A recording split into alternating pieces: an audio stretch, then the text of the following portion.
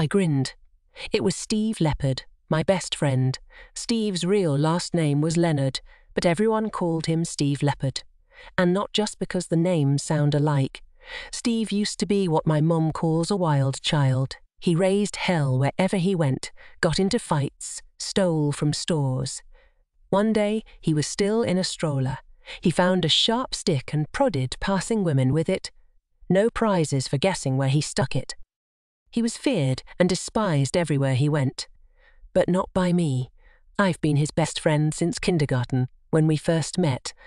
My mom says I was drawn to his wildness, but I just thought he was a great guy to be with. He had a fierce temper and threw scary tantrums when he lost it, but I simply ran away when that happened and came back again once he'd calmed down.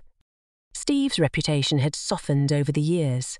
His mum took him to see a lot of good counsellors who taught him how to control himself, but he was still a minor legend in the schoolyard, and not someone you messed with, even if you were bigger and older than him.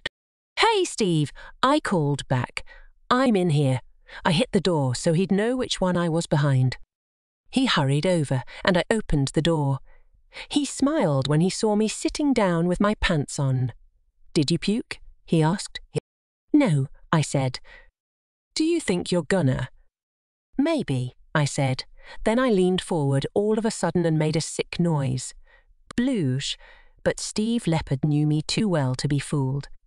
Give my boots a polish while you're down there, he said, and laughed when I pretended to spit on his shoes and rub them with a sheet of toilet paper.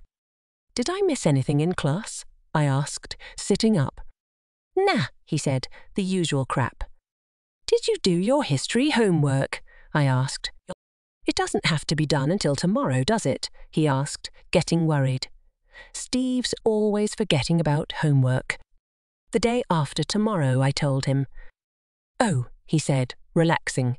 Even better, I thought. He stopped and frowned. Hold on, he said. Today's Thursday. The day after tomorrow would be. Got you, I yelled, punching him on the shoulder. How? he shouted. That hurt. He rubbed his arm, but I could tell he wasn't really hurt. Are you coming out? he asked then.